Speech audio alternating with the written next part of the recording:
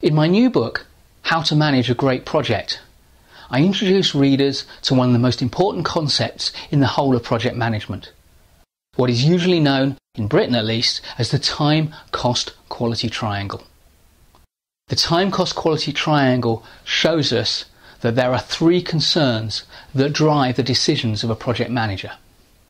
The first of them is time, schedule. The second, budget or cost or resource load. And finally, the quality of what we're delivering. And one of the most important questions that a project manager can ask their boss, their client, or their customer is where do your priorities lie on this time cost quality triangle? The answer to that will give a clear compass bearing for every decision that the project manager makes, knowing which to prioritise and which is of lesser importance. The time cost quality triangle has other names though. The triple constraint, the triangle of balance, or the iron triangle. And these three other names tell us something important about the characteristics of the time cost quality triangle. Because it's the nature of triangles that they're rigid, they cannot bend.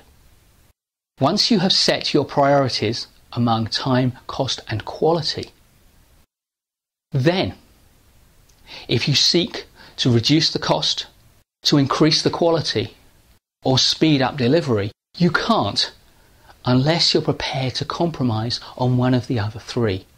Each of these three constants will now constrain your decision making, hence the triple constraint. Each of these three comes into balance, hence the triangle of balance. But here's a secret.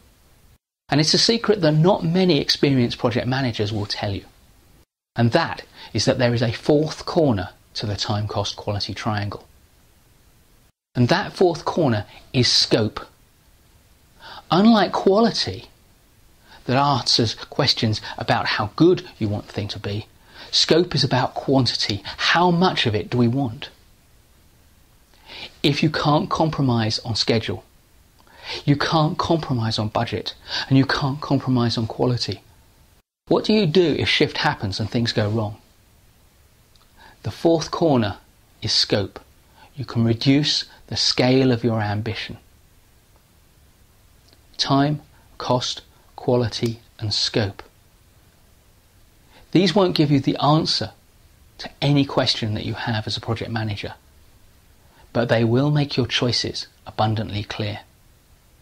And understanding your choices leads to better decision making. And that's important if you want to manage a great project.